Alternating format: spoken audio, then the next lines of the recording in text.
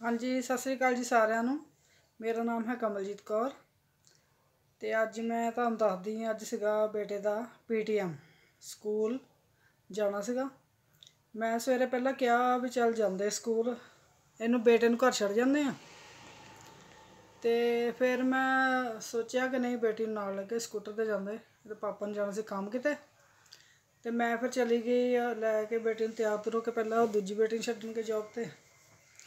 ਫਿਰ ਮੈਂ, ਫਿਰ ਉਹ ਆਈ ਤੇ ਫਿਰ ਮੈਂ ਜਦ ਤਿਆਰ ਹੋ ਕੇ ਜਦ ਰੋਟੀ ਖਾਧੀ ਤੇ ਫਿਰ ਉਹ ਚਲੀ ਗਈ। ਤੇ ਮੈਨੂੰ ਛੱਡਣ ਫਿਰ ਨਾਲ ਮੇਰੇ ਗਈ। ਕਹਿੰਦੀ ਚੱਲ ਨਾਲ ਚੱਲਦੀ ਹਾਂ ਤੁਹਾਡੇ। ਫਿਰ ਅਸੀਂ ਸਕੂਲ ਗਏ, ਸਕੂਲ ਥੋੜਾ ਦੂਰ ਹੈ, ਸਕੂਟਰ ਤੇ ਜਾਣਾ ਪੈਂਦਾ। ਤੇ ਪਾਪਾ ਦੀ ਗੱਡੀ ਲੈ ਕੇ ਤੇ ਅਸੀਂ ਚੱਲ ਗਏ ਸਕੂਟਰ ਤੇ। ਤੇ ਜਾ ਕੇ ਵੀ ਤੁਹਾਨੂੰ ਪਤਾ ਹੀ ਹੈ ਮੈਡਮਾਂ ਹੁਣ ਮੁੰਡਿਆਂ ਦੀ ਜ਼ਿਆਦਾ ਤਾਂ ਸ਼ਰਾਰਤਾਂ ਦੀ ਹੀ ਲੱਗਦੀ ਹੁੰਦੀ ਨੇ ਵੀ ਸ਼ਰਾਰਤਾਂ ਕਰਦੇ। ਤੇ ਮੈਂ ਫਿਰ ਮੈਡਮ ਨੂੰ ਕਿਹਾ, ਮੈਂ ਕਿ ਬੱਚਿਆਂ ਨੇ ਜਿੰਨੀ ਸ਼ਰਾਰਤਾਂ ਕਰਨੀਆਂ ਤਾਂ ਹੋਰ ਕਿਹਨੇ ਕਰਨੀਆਂ? ਮੈਂ ਕਿਹਾ ਵੀ ਉਹ ਦੂਜੀਆਂ ਸ਼ਰਾਰਤਾਂ ਨਾ ਕੋਈ ਕਰੇ ਕਿਉਂਕਿ ਵੱਡੇ ਹੋ ਜ- ਹੁੰਦੇ ਜੇ ਪਏ ਬੱਚੇ। ਇਹ ਕਲਾਸ ਵਿੱਚ ਸ਼ਰਾਰਤਾਂ ਤਾਂ ਹਰ ਇੱਕ ਬੱਚਾ ਕਰਦਾ ਹੀ ਕਰਦਾ, ਅਸੀਂ ਥੋੜੀ ਕਰਨੀਆਂ, ਬੱਚਿਆਂ ਨੇ ਕਰਨੀਆਂ ਸ਼ਰਾਰਤਾਂ। ਤੇ ਮੈਡਮ ਕਹਿੰਦੇ ਵੀ ਨਹੀਂ, ਬ- ਬਹੁਤ ਸ਼ਰਾਰਤਾਂ ਕਰਦੇ ਬੱਚੇ। ਮੈਂ ਕਿਹਾ ਕੋਈ ਗੱਲ ਨਹੀਂ ਇਕੱਲੇ ਕਰਦਾ, ਸਾਰੇ ਕਹਿੰਦੇ ਸਾਰੇ ਬੱਚੇ ਬਹੁਤ ਸ਼ਰਾਰਤਾਂ ਕਰਦੇ। ਫਿਰ ਮੈਂ ਕਿਹਾ, ਫਿਰ ਤਾਂ ਤੁਸੀਂ, ਮੈਂ ਸਾਰਿਆਂ ਨੂੰ ਇਕੱਠੇ ਬਿਠਾ ਕੇ ਗੱਲ ਕਰੋ। ਜਾਂ ਫਿਰ ਮੈਂ ਕਿਹਾ, ਹੁਣ ਇਕੱਲੇ ਨੂੰ ਨਾ ਕਹੋ ਵੀ ਇਕੱਲਾ ਸ਼ਰਾਰਤਾਂ ਕਰਦਾ।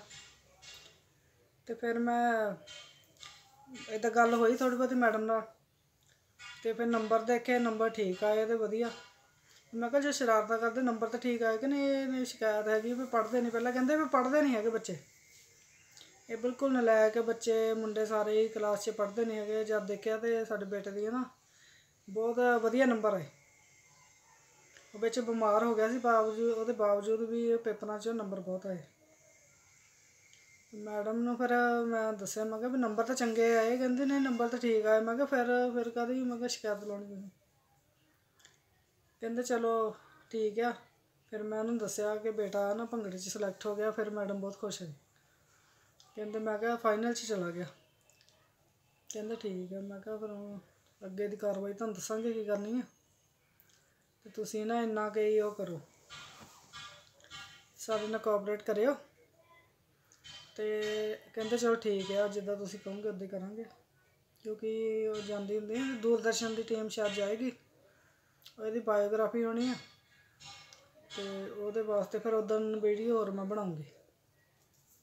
ਤੇ ਚਲੋ ਨੰਬਰ ਵਧੀਆ ਆ ਗਏ ਸੀ। ਫਿਰ ਅਸੀਂ ਨਾਲ ਹੀ ਬੇਟੇ ਨੂੰ ਘਰ ਲੈ ਆਂਦਾ ਇਸ ਕਰਕੇ ਤੂੰ ਉੱਥੇ ਕੀ ਰਹਿਣਾ? ਡਰੈਸ ਪਾ ਕੇ ਗਿਆ ਸੀ, ਕਹਿੰਦਾ ਮੈਂ ਕਹਿੰਦਾ ਡਰੈਸ ਨਹੀਂ ਪਾਉਣੀ, ਮੈਂ ਕਹਿੰਦਾ ਨਹੀਂ ਡਰੈਸ ਪਾ।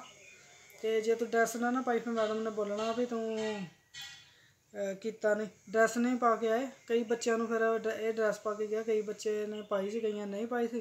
ਫਿਰ ਮੈਡਮ ਬੋਲਦੇ ਸੀ, ਇੱਥੇ ਕੋਈ ਫੰਕਸ਼ਨ ਥੋੜ੍ਹਾ ਹੈਗਾ। ਜਾਂ ਤੁਸੀਂ ਦੂਜੇ ਕੱਪੜੇ ਪਾ ਕੇ ਆ ਗਏ। ਵੀ ਉਹ ਪਾ ਕੇ ਆਇਆ ਕਰੋ। ਡਰੈਸ ਪਾ ਕੇ ਆਇਆ ਕਰੋ ਪੀਟੀਐਮ ਤੇ। ਨੰਬਰ ਵਧੀਆ ਆ ਗਏ। ਚੱਲ, ਖੁਸ਼ੀ ਹੋਈ ਬੇਟੇ ਨੂੰ, ਹਨਾ? ਬਿਮਾਰ ਦੇ ਬਾਵਜੂਦ ਹੋਣ ਦੇ ਵੀ ਵਿੱਚ ਨੰਬਰ ਸੋਹਣੇ ਆ ਗਏ ਉਹਦੇ। ਉਹ ਨਹੀਂ ਤਾਂ ਫਿਰ ਤੁਹਾਨੂੰ ਪਤਾ ਮਾਂ ਪਿਓ ਫਿਰ ਝਟਕਾ ਮਾਰਦੇ ਹੀ। ਮੈਡਮ ਤਾਂ ਮਾਰਨੀਆਂ ਮਾਂ ਪਿਓ ਵੀ ਮਾਰਦੇ। ਚਲੋ ਠੀਕ ਆ ਚੰਗਾ ਸਤਿ ਸ਼੍ਰੀ ਅਕਾਲ।